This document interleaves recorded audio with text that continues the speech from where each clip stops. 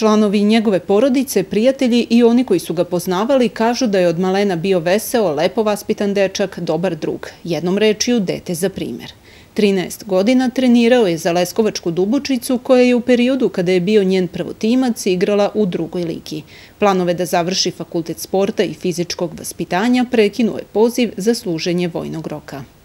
Pre odlaska, pre samog odlaska na Kosovo, vratili smo se iz Beograda, on i ja, položio je prijemni ispit, pa smo ja i žena posle nedelju dana išli da ga upišemo na fakultet i tako. On jada nije ni sasno da je, ni da je položio, ni da je primljen na fakultet.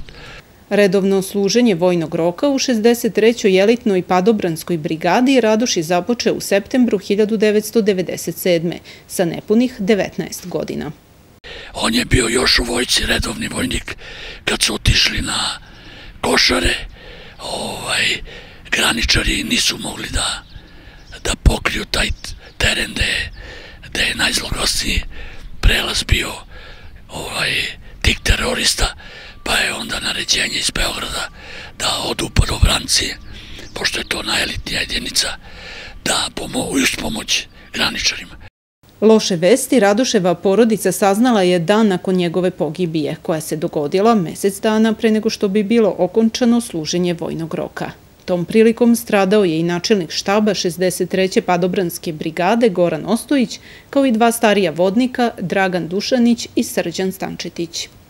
Mislim da je 23. dan ovaj, su krenuli po šumama da jure, da traže teroriste i upali su u zamku i pogine prvo komadant Ostojić, poginu dva starija vodnika, Dušanić i i Radoš kao vojnik.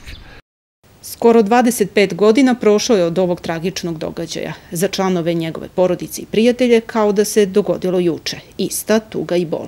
Radošev otac, koji je nakon toga vodio bitku sa karcinomom glasnih žica i imao tri operacije, kažu da su im volju za životom dali unuka Dunja i unuci Danilo i Veljko, deca njegovog starijeg sina Bojana.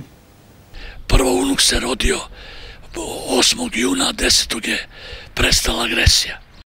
Svake godine, posljednje subote u septembru, članovi Radoševe porodice odlaze u jedinicu 63. padobranske brigade u Nišu, gde se organizuje prijem za članove porodice žrtava.